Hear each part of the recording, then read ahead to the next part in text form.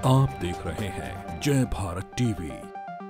लेकिन ग्राम प्रहरी का जो महत्व है वो सिर्फ़ ये एक इस्तेमाल करने वाली बात है। पुलिस विभाग भी और राजस्व विभाग भी इसमें इस्तेमाल करते हैं हम लोगों को। कितना मानदेय अभी दे रहे हैं? मानदेय अभी वर्तमान समय में हमारा दो हज़ार रुपये है। ये हमारा शोषण ही है तो नहीं तो बाकी क्या है? उत्तराखंड में गांधी की पुलिस की चर्चा होती है यानी कि राजस्व पुलिस। बहुत बड़ा इलाका है दूरस्थ इलाका है।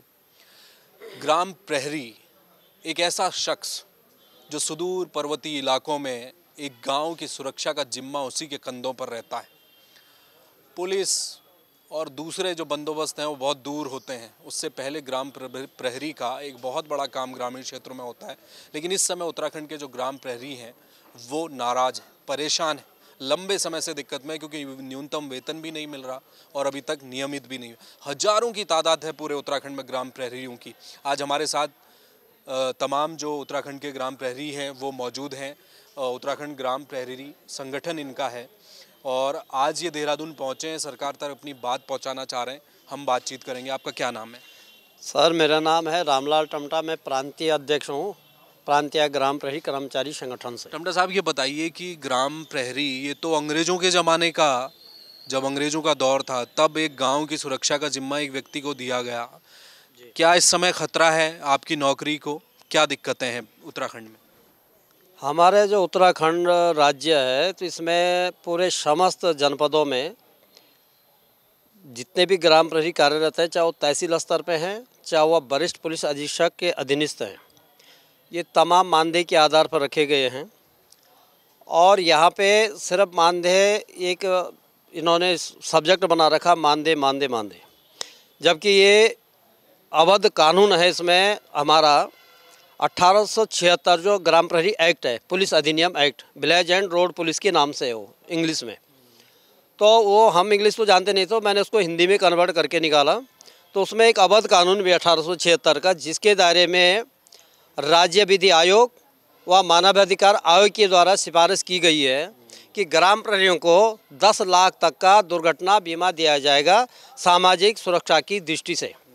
क्योंकि ग्राम प्रहरी तमाम ऐसे आपराधिक प्रवृत्ति लोगों के रडार पे होते हैं जैसे भू माफिया है खनन माफिया है और तमाम जितने भी प्रकार शराब माफिया है तथा बहुत सारे दबंग राजनीति प्रवृत्ति के व्यक्ति भी हैं तो जिनकी पुष्टि ग्राम प्रहरी के द्वारा की जाती है तथा पुलिस की रीढ़ की हड्डी भी ग्राम प्रहरी होती है।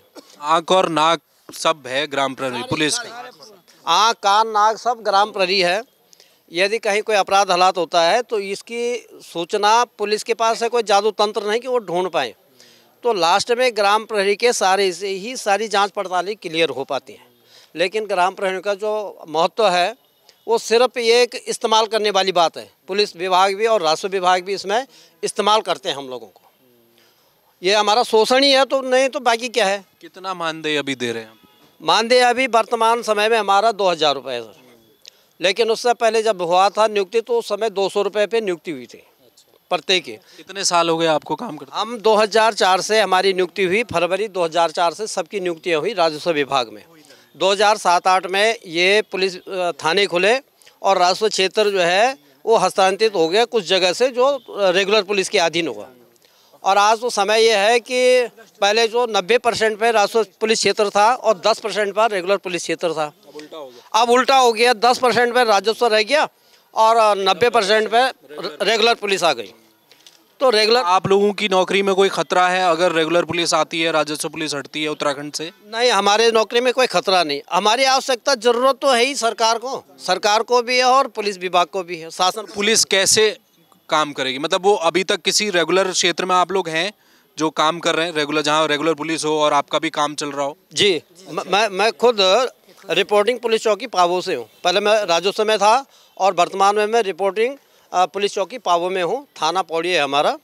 तो हम अभी भी पुलिस में भी काम कर रहे हैं लेकिन हमारे पास ये स्थिति है कि हम वन विभाग को भी सपोर्ट करते हैं। जब जंगल का एरिया भी है गाँव भी है। अगर हिंसक जंतुओं द्वारा कोई नुकसान होता है तो वन विभाग को टीम को बुलाना पड़ता है। और उस आदमी को जो भी हो अगर घायल है तो उसको अस्पताल तक ले जाना या अगर वो मृतक हो गया तो डेड बॉडी को भी उठा के ले जाते हैं हम लोग। तो आपके टमटा साहब आपके काम एक तो आपदा आई। सबसे पहले आपको पता चलेगा ग्राम प्रहरी कौन है। चोरी हो गई डकैती हो गई कोई आपराधिक घटना हो गई तब ग्राम प्रहरी। और और भी कोई ऐसा कोई कार्यक्रम हो सरकार का जो जंगल का कोई जानवर आ गया तो सबसे पहले आप ही को पता चलेगा। मतलब हर तरह की जो परेशानी ग्राउंड लेवल पर आनी है सबसे पहले ग्राम प्रहरी को पता चलेगा। कैसे सूचना देते हैं सरकार तक और अब सरकार क्या कह रही है इस समय? हमारी जो सूचना हो, ज़्यादातर हम लोगों के लिए तो अब व्यवस्था ये है कि वैसे तो सरकार ने कहा था कि मोबाइल फ़ोन दिए जाएँगे, जो अभी तक मिले भी नहीं है। लेकिन हम लोग बहुत गरीब है, जब हमारे फ़ोन में पैसा होता हम दूसरे के फ़ोन से कॉल करते हैं। जैसे हमारे पटवारी हो गया, तहसीलदार हो गया, नायब तहसीलदार, एसडीएम या जो हमारे पौड़ी का है, डीएम साहब के कार्यालय का नंबर है, बाईस बाईस पचास पे हम कॉल करके बताते हैं। और यदि आपदा गए तो आपदा प्रबंधन का भी टोल फ्री नंबर पे हम कॉल करके बताते हैं कि भाई हमारे यहाँ पे ये घटना हो गई है। तो सर्वप्रथम हमारी सूचना हमारी ही दर्ज होती है। पहली प्राथमिकता हमारी है सूचना दर्ज कराने की। क्या मांग अब सरकार से आपकी है? और क्या आने वाले समय में तो लोकसभा का चुनाव भी है? क्या लोग आप लोग किसी आंदोलन की तैयारी कर रहे हैं? पूरे प्रदेश से क्या आप लोगों के जो ग्राम प्रहरी हैं वो क्या देहरादून आएँगे? क्या कार्यक्रम आप लोग आगे का प्लान कर रहे हैं? अगर सरकार आपकी मांगे नहीं मानती तो। जी हमारा जो है आ, अभी हमारी जो मांगे हैं तो हमने 2018 में एक वेतन बोर्ड बैठा था यहाँ उत्तराखंड शासन में। वो बहुत लंबे समय में बैठता है। तो उस सेमेस्टर में भारतीय मजदूर संघ ने इसको प्रमुखता से रखा था कि ग्राम प्रहरी को न्यूनतम वेतन दिया जाए। लेकिन उसमें हम चार पाँच संगठनों के नाम थे। आंगनवाड़ी आशा माता, भोजन माता और दाइमा और लास्ट में था ग्राम प्रहरी और उसमें श्रम विभाग का जो अनुसूचित नियोजन है, उसमें हम लोग नहीं आए उस दायरे में। तो उन्होंने ये लिखा कि ये संबंधित विभाग से इनका अनुसूचित नियोजन किया जाना है। तो हमने 2019 में अप्लाई की थी। आप दैनिक वेतन भोगी में आते हैं या क्या? नहीं आ, अब अब आने अब आने वाले दैनिक। तो सरकार ने कहा है कि कल परसों ही एक आदेश आया है कि आपको पैसा काटा गया महँगाई भत्ता सरकार की ओर से दैनिक वेतन भोगियों का। हमारा नहीं है सर। अच्छा। वो हमारा नहीं। हमारा तो अभी जो है ये सूचियाँ आ जाएँगी जब समस्त जिलाधिकारियों के यहाँ से। तो सूची आने के बाद हमारे जो है, ये प्रस्ताव बन के जाएगा। अनुसूचित नियोजन सूची में शामिल करने का न्यूनतम वेतन का प्रस्ताव बनेगा। और वो प्रस्ताव मान्य मुख्यमंत्री जो हमारे उत्तराखंड के हैं, पुष्कर सिंह धामी जी के सम्मुख जाएगा। और वो उसमें अधिसूचना जारी करेंगे न्यूनतम वेतन की। जैसे हिमाचल राज्य में 12 साल की सेवा अवधि पूर्ण होने पे न्यूनतम वेतन की अधिसूचना घोषित हुई। ऐसे ही हमारे उत्तराखंड में हो गए, हमें आज 19 वर्ष हो गए। अब बीसवां वर्ष प्रवेश हो रहा है तो हमने ये अथा मेहनत करने के बाद इस मामले को वेतन बोर्ड के माध्यम से तथा अपने शीर्ष अधिकारियों के सहयोग से आज हमारा जो है, ये सिर्फ़ घोषणा की तैयारी हम लोगों की चल रही है, पर बड़ा खेद का विषय है कि जो राजस्व विभाग के जो जिलाधिकारी समस्त जिलों के जिलाधिकारियों के लोग सूचना अधिकारी हैं, वो हमारी सूचनाओं पे ध्यान नहीं दे रहे हैं। और वो हमें सूचना का तंत्र प्राप्त नहीं करा रहे। जबकि रजिस्ट्री करके वो भेज सकते थे। तो जिन जिलों से नहीं आती है सूचना उन जिलों को हम सूचना आयोग रिंग रोड छः नंबर पुलिया में मंगलवार को हम अपनी रीट दायर कर देंगे। सत्ताईस तारीख को हमारे तीस दिन पूरे होते हैं और सत्ताईस तारीख के बाद हम ये रीट संबंधित जिलों के लोक सूचना अधिकारियों को हम आपका ये कहना है कि तमाम जो लोक सूचना अधिकारी हैं जिलों में जिलाधिकारी के यहाँ वो आपको सूचना नहीं दे रहे? नहीं दे रहे। आपको कुछ नहीं पता चल रहा है कि शासन स्तर पर क्या हुआ है। न्यूनतम वेतन की मांग आप कर रहे हैं। अगर नहीं मानते तो आयोग में चुनौती देंगे, फिर सड़कों में उतरेंगे। उसके बाद तो हम बहुत महँगा आंदोलन के लिए बाध्य होना पड़ेगा पूरे संगठन को और हम पूरे प्रदेश से सभी लोगों को बुलाएँगे आंदोलन के लिए।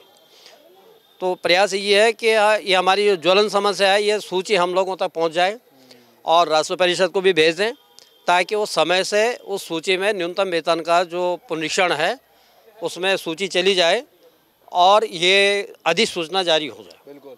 देखिए, पड़ोस का राज्य है हिमाचल प्रदेश। इन्होंने बताया कि वहाँ जो प्रहरी ग्राम प्रहरी काम कर रहे हैं, बारह साल में उनके यहाँ अधिसूचना जारी हुई, न्यूनतम वेतन की। न्यूनतम वेतन तो मिलना ही चाहिए।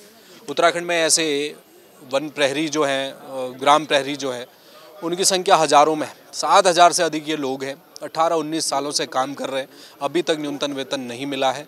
और सूचनाएँ भी नहीं मिल रही हैं। इन्होंने बड़ा आरोप लगाया, आज ये प्रदेश भर से लोग यहाँ कुछ पहुँचे थे, आगे की रणनीति ये तय करना चाह रहे हैं। तो इनका ये कहना है कि सरकार अगर मांग नहीं मानती आने वाले समय में तो ये एक बड़ा आंदोलन करेंगे। सामने लोकसभा का चुनाव है, ज़ाहिर सी बात है, इस तरह के मुद्दे जिनको सरकार लटकाती आ रही है, वो तो सड़कों पर उतरने। तय। कैमरा में मयूर उपाध्याय के साथ हेमभट्ट जय भारत टीवी।